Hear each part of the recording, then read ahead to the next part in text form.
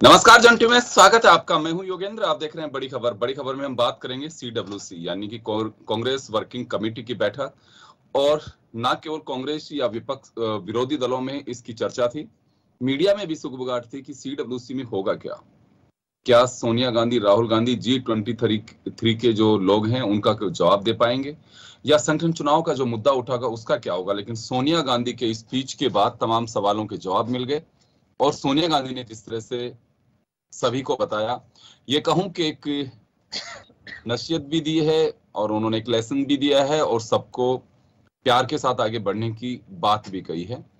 ये पूरा एक हम मजमून की तरह देख सकते हैं। जी ट्वेंटी थ्री में कपिल सिब्बल हो, जिस जिन्होंने हाल ही में कहा कि पार्टी में स्थायी अध्यक्ष नहीं है, फैसले ले कौन रहा है? गुलाम नबी आज़ाद ने कहा था कि बहुत सारे इश्यूज़ हैं, जिसमें ज्योतिरादित्य सिंधिया, जतिन प्रसाद जैसे लोग गए, उसके बाद कि सीडब्ल्यूसी की बैठक बुलाई जानी चाहिए। बैठक हुई। बैठक में मजमून तय कर दिया गया कि संगठन चुनाव अगले साल अक्टूबर तक होंगे। तब तक के लिए सोनिया गांधी ने साफ़ कहा है कि वही स्थायी अध्यक्ष के रूप में है और एकदम खुलेपन से बात कर सकते हैं, कोई भी बात कर सकता है, लेकिन मीडिया के माध्यम से नहीं। तीन प्रस्ताव भी पारित किए गए हैं, जिसकी अपेक्षा थी कि आर्थिक प्रस्ताव, राजनीतिक प्रस्ताव और एक प्रस्ताव और उन्होंने पास किया है। जिसको लेकर के हाँ किसानों को लेकर के जो बात कही उन्होंने कि क्योंकि एक साल नवंबर में होने वाला है इस आंदोलन को और अभी तक सरकार जवाब नहीं दे पा रही है, इस आंदोलन को खत्म नहीं करा पा रही है। तो लखीमपुर खीरी हो या महँगाई हो या फिर विदेश नीति हो चीन वाला मामला हो, तमाम पहलुओं को लेकर के सीडब्ल्यूसी की बैठक में चर्चा हुई है। तो चले हम आगे बढ़ते हैं और हमारे साथ इस वक्त वरिष्ठ पत्रकार और समीक्षक ओम सैनी साहब जुड़े हुए हैं। कांग्रेस से सीनियर लीडर ज्योति खंडेलवाल जी हमारे साथ है, भाजपा से मदन राठौर साहब जुड़ रहे हैं, सभी का स्वागत है। ओम जी, आपके पास आना चाहूँगा मैं। सोनिया गांधी के तेवर जिस तरह से दिखाई दिए, उसकी लोगों को ये था कि शायद इसमें कुछ हंगामा हो सकता है, क्या होगा, क्या नहीं होगा। लेकिन जो बातें कही गई, और उन्होंने जो कहा कि चार दीवारी के बाहर कोई बात नहीं जानी चाहिए, उसके अलावा कांग्रेस एकजुट और अनुशासित होगी तो आगे बढ़ सकते हैं। अभी तक ये बात निकल करके आ रही थी कि कांग्रेस अब डूबने के कगार में है और बीजेपी सही दिशा में कह रही है कि कांग्रेस मुक्त भारत होगा। दो घटनाक्रम यहाँ पे देखने को होंगे कि एक घटनाक्रम उत्तर प्रदेश का, जो प्रियंका गांधी का तेवर जो दिखाई दिए और अभी सोनिया गांधी के सीडब्ल्यूसी की बैठक में। तो क्या लगता है इनसे? देखिए, मुझे तो आज की सीडब्ल्यूसी की मीटिंग के साथ में चचा केसरी का वाक्य याद आ गया। जिस वक्त लोग कह रहे थे कि ये विदेशी महिला है, ये क्या नेतृत्व करेंगे? उस वक्त चचा केसरी को जिस तरीके से हटा करके और कांग्रेस पर सोनिया गांधी काबिज हुई अध्यक्ष बनी, और उसके बाद में पार्टी को लेकर जिस तरीके से आगे बढ़ी, वो अपने आप में एक एक नजीर है कि कैसे पार्टी इस बड़ी पार्टी को चलाया जा सकता है। और उस, वो महिला चला सकती है, जिसको कहा जाता रहा कि वो तो इटली से है, बाहर से है, कुछ नहीं है। और जिसके लिए लोगों ने अपने बाल कटा के और चने खाका के ज़मीन पे सोने तक की बातें की। उसने, उस महिला ने जिस तरीके से पार्टी को संभाला उस वक्त, और जो हैसियत बनाई पार्टी की, और आज फिर वैसी बात बन रही थी। क्योंकि आपके बात दूसरी थी। बात ये थी कि जो प्रतिपक्ष को जिस तरीके से वर्तमान राजनीति या वर्तमान केंद्रीय संगठन सत्ताधारी दल जिस तरह ट्रीट कर रहा है, वो अपने आप में बड़ा आश्चर्यजनक है। पहले तो मनभेद और मतभेद का सिलसिला चलता था, लेकिन इस बार तो पूरी तरीके से तय तय हुआ कि इस शत्रु राजनीति हो गई, सब उखाड़ के फेंक दो कांग्रेस को। ये, यही सारे संकटों का, और सत्तर साल का शासन उनका एक मुद्दा बन गया सारा।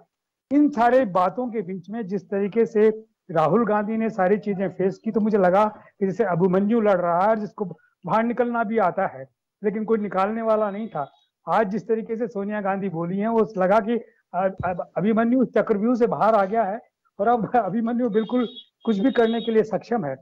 तो मिसेस गांधी और साथ साथ में जिन लोगों को एक और बात बता दूँ जिन लोगों ने कहा था कि कहाँ है कोई जवाब देने वाला नहीं है कुछ भी नहीं है उन सबको जो कहा है कि देखिए मैं यहाँ पर आप अगर ये मानते मतलब मानना चाहिए आपको कि मैं अध्यक्ष हूँ मैं हर बात हर बात का जवाब देने के लिए तैयार हूँ लेकिन जिस तरीके से आपने मीडिया के माध्यम से चिट्ठियाँ लिख करके ये सब कुछ के इनको जो लताड़ा है एक अनुशासन की बात भी जो समझाई है ये पार्टी भुगतती रही इन सब बातों को ना?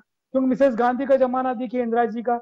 उस नेहरू जी के बाद में संकट आते रहे हैं। लाल बहादुर शास्त्री के वक्त में भी आए, इंदिरा जी के वक्त में भी आए, राजीव गांधी के वक्त में भी आए, और अभी सोनिया गांधी के इस पीरियड में भी आए। लेकिन इसका माकूल जवाब जो देना चाहिए था, वो आज सी की मीटिंग से श्रीमती सोनिया गांधी ने दिया है। और जो सब लोगों की ज़ुबान बंद हो गई मेरे ख्याल है कि एकजुटता का सा एक दृश्य दिखाया। अब वो कितने एकजुट है, वो तो बाद में पता लगेगा। लेकिन आज तो ऐसा ही लग रहा है। जी। फ़िलहाल के लिए तो ये कह सकते हैं कि सीडब्ल्यूसी की बैठक एक नए फ्लेवर में दिखाई दी है और सोनिया गांधी एक नए तेवर के साथ में प्रकट हुई। लेकिन बहुत सारी चुनौतियाँ सामने होंगी अभी कांग्रेस के लिए। ये एक महज बैठक का मजमून पे हम चर्चा कर रहे हैं। कांग्रेस में अभी बहुत सारी चुनौतियाँ। चैलेंज इस मायने में कि पहले गवर्नमेंट कांग्रेस की मैक्सिमम स्टेट्स में रही है। अभी बहुत सीमित ये कहें कि महज केवल तीन राज्यों के अंदर कांग्रेस की गवर्नमेंट है। अलायंस में कुछ राज्यों में हो सकती है, लेकिन आने वाले दिनों के जो चुनाव होंगे, वो एक बड़ी चुनौती होगी कांग्रेस के सामने। कुछ राज्य ऐसे हैं कि जहाँ पे नेतृत्व को लेकर के गुटबाजी चल रही है, वो दूर करना कांग्रेस के लिए एक चुनौती होगी। बेशक सीडब्ल्यूसी की बैठक में इन पे चर्चा हुई होगी, या इंडिविजुअल किसी को टाइम देकर के चर्चा कर सकते हैं सोनिया गांधी, लेकिन चुनौतियाँ मुँह बाहे खड़ी हुई हैं सामने अभी भी। ज्योति जी, आपके पास आना चाहूँगा। अगर सी डब्ल्यू सी की बैठक की बात करें तो लंबे समय से पेंडिंग थी। हो सकता है कोविड एक कारण जैसे बताया भी गया। जून में चुनाव होने थे, लेकिन वो कोविड के कारण उसे अक्टूबर 2022 तक के लिए टाल दिया गया है। और गुजरात इलेक्शन होगा, उस दरमियान होगा, नहीं होगा, ये भी कहना भी जल्दबाजी होगा। लेकिन जो चुनौतियाँ सामने दिखाई दे रही हैं, अभी जो जी ट्वेंटी थ्री लीडर्स को एक नसीहत के रूप में उन्हें समझाया गया है। लेकिन चाहे राजस्थान हो, चाहे हरियाणा हो, चाहे दूसरे स्टेट्स हो, जहाँ डिस्प्यूट है अभी कांग्रेस में, उनका क्या होगा? देखिए योगेंद्र जी, जहाँ तक आप कांग्रेस के चुनौतियों की बात करते हैं तो निश्चित रूप से कांग्रेस का चुनौतियों से कोई अभी का नहीं, कांग्रेस का हमेशा से नाता रहा है। चुनौतियों से लड़ाई लड़ना ही कांग्रेस की नीति रही है, उसका सामना करना ही कांग्रेस की नीति रही है।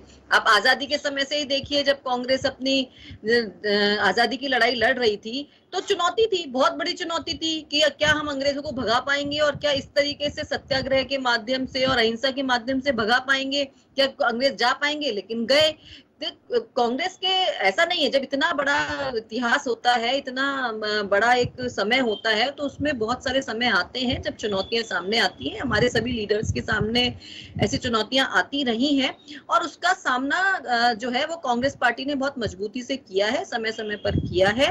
और कांग्रेस ने ऐसे मैं यूँ भी कहूँ कि ये भी एक लोकतंत्र की खूबसूरती ही होती है कि ठीक है, आज आप कह सकते हैं कि आज कांग्रेस की सरकार ने हाँ ये लोकतंत्र की ही बात है। लोकतंत्र लोकतंत्र ज़िंदा है, इसलिए विपक्षी दल जो है वो आज सरकार बनाने में कामयाब हुआ है। अगर लोकतंत्र नहीं होता तो क्या आप सरकार बनाने में कामयाब हो पाते? जिस तरह की आप राजनीति कर रहे हैं, जिस तरह से आप देश को चला रहे हैं, जिस तरह से इस समय सत्ताधारी दल ये मान करके चल रहा है कि केवल एक ही दल होना चाहिए, केवल सत्ता पक्ष ही होना चाहिए और विपक्ष की कोई भूमिका ही नहीं होनी चाहिए। विपक्ष को शत्रु मान करके खत्म कर दिया जाए और उसके लिए टारगेट बनाया जाए कि अगर हम राहुल गांधी को और हर तरह की भाषा का इस्तेमाल किया जाए, हर तरह के लफ्जों का इस्तेमाल किया जाए, हर तरीके से एक छिचोरापन, एक ओछापन दिखाया जाए। ना केवल राहुल गांधी जी, आप उस समय देखेंगे, मनमोहन सिंह जी जो हमारे प्रधानमंत्री जी थे, एक बहुत ही हम सब जानते हैं इंटेलिजेंट अर्थशास्त्री रहे हैं, उन्होंने देश की अर्थव्यवस्था को ऊँचा उठाने का काम किया है। उनके लिए किस किस तरह के मैसेजेस चलाए गए हैं किस किस तरह की बातें कही गई हैं, उस समय पे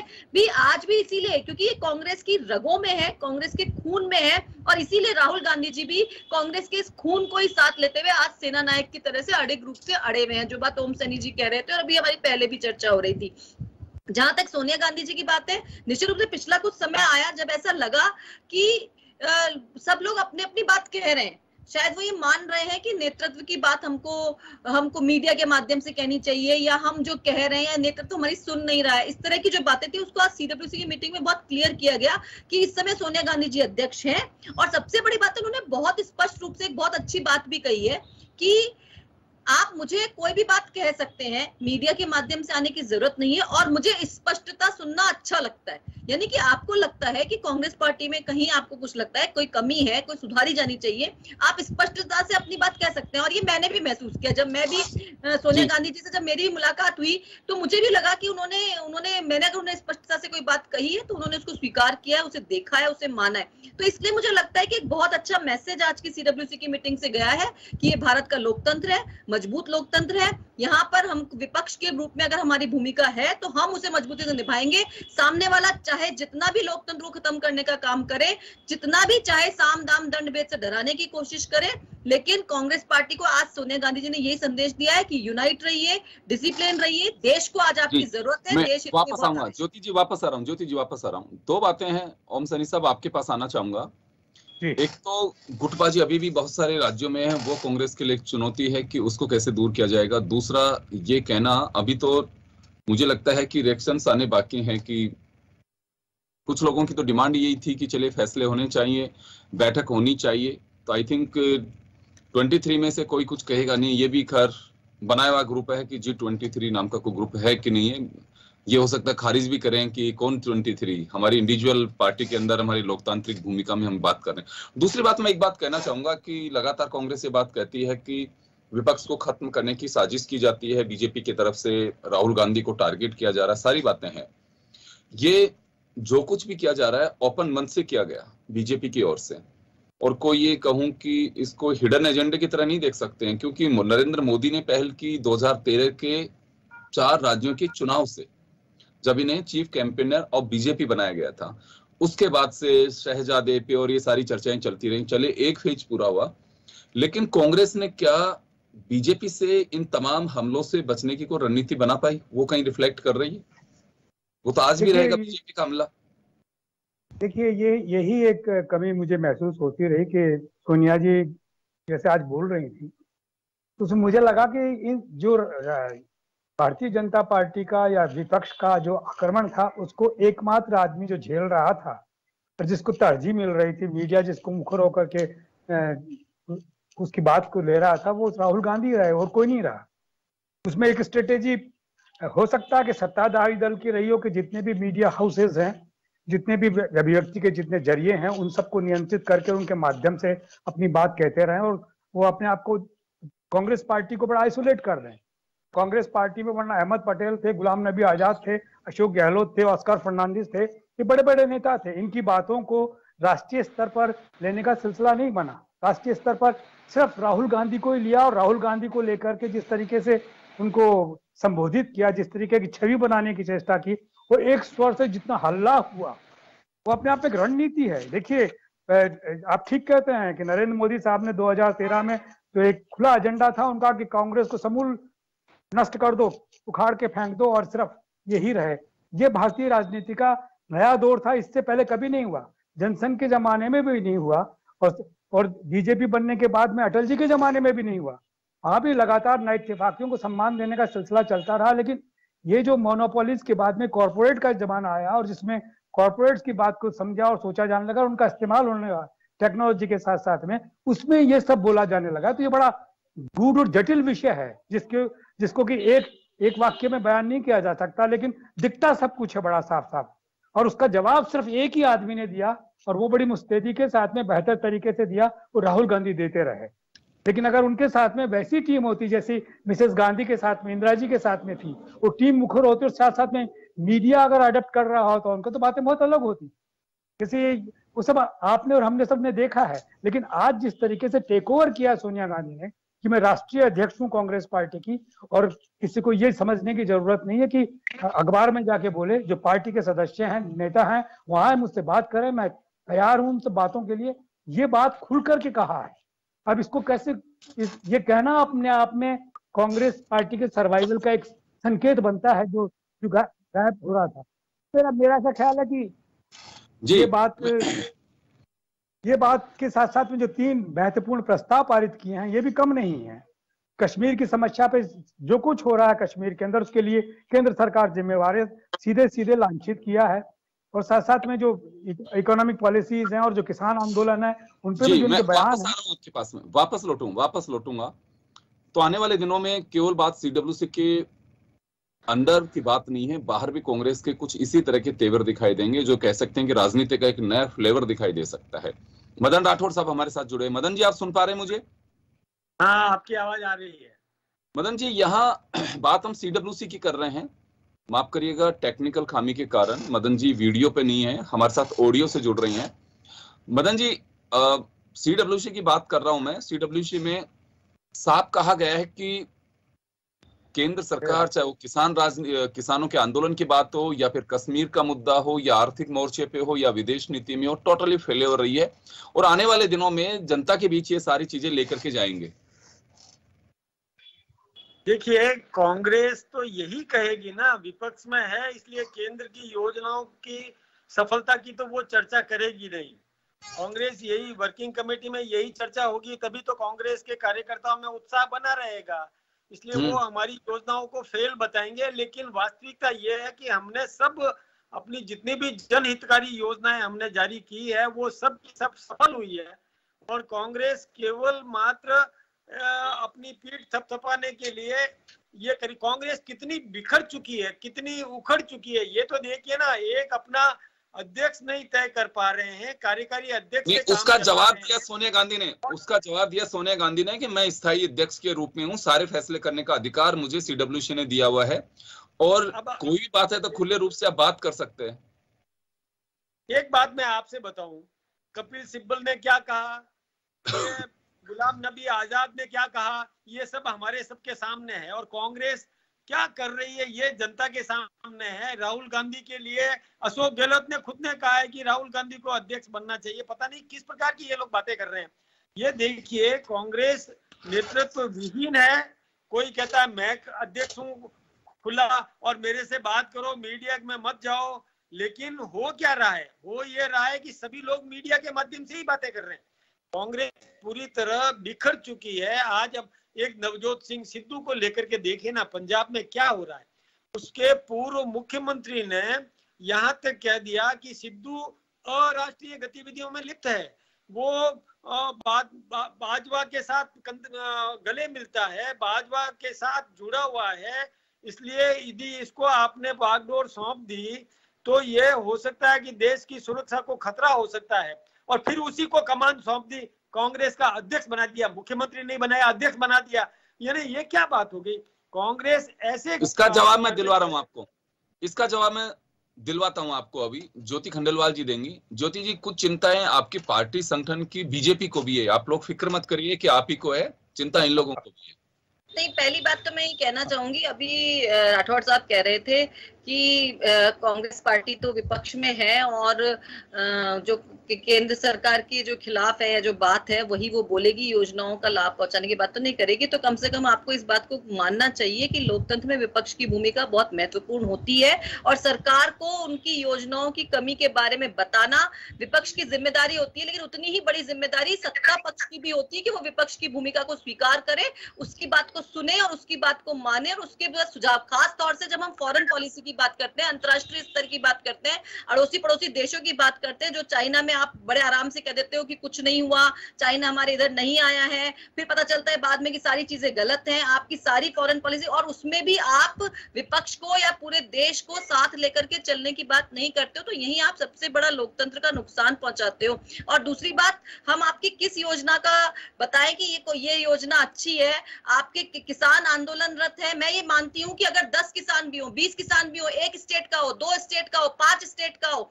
अगर कहीं कोई आंदोलनरत है और डेढ़ साल से लगातार आंदोलन कर रहा है तो क्या ये सत्ता पक्ष की ज़िम्मेदारी नहीं बनती है कि वो उसकी बात को सुने? पर आप लोग क्या करते हैं? उसे गाड़ियों से कुचलते हैं। आपका गृह मंत्री कोई नैतिक ज़िम्मेदारी नहीं लेता है। और इस तरह की बातें होती है। आप आपकी किस योजना के लाभ की हम बात करें? आप क्या महँगाई जो बढ़ा रहे हो पेट्रोल डीजल की दरें रसोई गैस के दामों की दरें बढ़ा रहे हो उसकी हम तारीफ़ करें? उसके बारे में हम कहें? या हमने कि ये बहुत अच्छा काम हो रहा है केंद्र की बड़ी अच्छी योजना है बड़ी उज्ज्वला उज्ज- आपकी उस उज्ज्वला योजना की हम तारीफ़ करें जो सिलेंडर चढ़ा रहा है। ज्योति जी मैं जवाब दिलवा रहा इस बात को आपको स्वीकार करना पड़ेगा और विपक्ष इतनी नहीं एक मिनट में मैं राठौड़ साहब की बात का जवाब दे देती हूँ। कि विपक्ष इतनी मुखरता से जनता के मुद्दे उठा रहा है इसी से ही आपका सत्ता पक्ष बौखलाया हुआ है और बार बार केवल विपक्ष को जिम्मेदार ठहराता है विपक्ष से सवाल पूछता है। जवाब देने की ज़िम्मेदारी सत्ता पक्ष जी की समय उसे जवाब दिलवाता हूँ। ज्योति जी मैं जवाब दिलो मदन जी सीडब्ल्यूसी की बैठक के बाद ये तय मानिए कि प्रतिपक्ष यानी कि खासकर कांग्रेस के हमले सरकार पे ज़्यादा होंगे जुबानी हमले। आप वैसे मत करिए कि हाँ हमले करा रही है टीवी की डिबेट से भी। इस तरह के हमले तो सामने होंगे क्योंकि रणनीति बन चुकी है हैं। और जो ज्योति जी के तेवर दिख रहे हैं वो तेवर मैंने बहुत लंबे समय बाद में देखे सीडब्ल्यूसी की बैठक का असर ही दिखाई दे रहा है मुझे ये।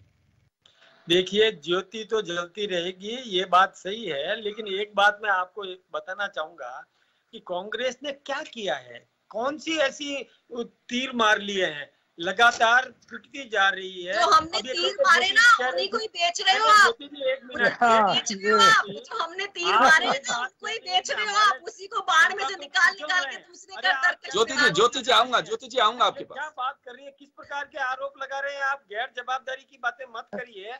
आप एक जवाबदार नेता हैं आप महापौर रही है इस प्रकार की बात मत करिए। मैं एक बात आपको बताना चाहूँगा कि देखिए जन हितकारी योजनाएँ कितनी थी कि आम अभी 80 करोड़ लोगों को और मतलब खाद्य सामग्री वितरित की जा रही है।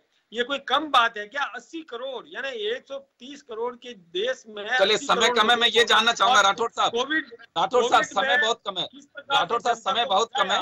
मैं सिर्फ़ इतना सा जानना चाहता हूँ कि आने वाले दिनों में कांग्रेस के हमले तेज होंगे बीजेपी की क्या रणनीति होगी? आज दुनिया में भारत का मान सुरक्षा का अधिनियम कांग्रेस पार्टी लाई थी का साहब। किया है। शायद ध्यान होगा। राठौड़ साहब समय कम है समय कम है मैं रोकना चाहूँगा। राठौर साहब। के साहब समय कम है समय कम है समय कम है सर। समय कम है राठौर साहब मैं माफ़ी चाहूँगा समय हो चुका है। तो चले आने वाले दिनों में राजनीति का एक नया तेवर दिखाई देगा। बीजेपी अपने एग्रेसिव रूप में जैसे दिखाई देती है वैसे होगी, लेकिन कांग्रेस भी अब सामने अपने आंदोलनात्मक भूमिका में दिखाई देगी। वो चाहे किसान आंदोलन की बात हो, या चाहे महँगाई की बात हो, या फिर विदेश नीति की बात हो, या इंटरनल सिक्योरिटी हमारी बॉर्डर सिक्योरिटी की बात हो, तमाम पहलुओं को लेकर के सामने आएगी। और सीडब्ल्यूसी की जो बैठक थी, जिन लोगों के अपने चिंतन और विचार थे, वो सामने आए हैं। खैर, अंदर क्या क्या चीज़ें रही, हमें प्रेस ब्रीफिंग के ज़रिए जिन चीज़ों का पता लगा है, उससे लगता है कि आने वाले दिनों में कांग्रेस और आक्रामक रूप से दिखाई देगी। ये एक बड़ी बात कही जा सकती है और अक्टूबर 2020 22 तक नए अध्यक्ष का ऐलान भी किया जा सकता है। चलिए बहुत बहुत शुक्रिया आप सभी का। बड़ी खबर में इतना ही। दीजिए इजाज़त। नमस्कार।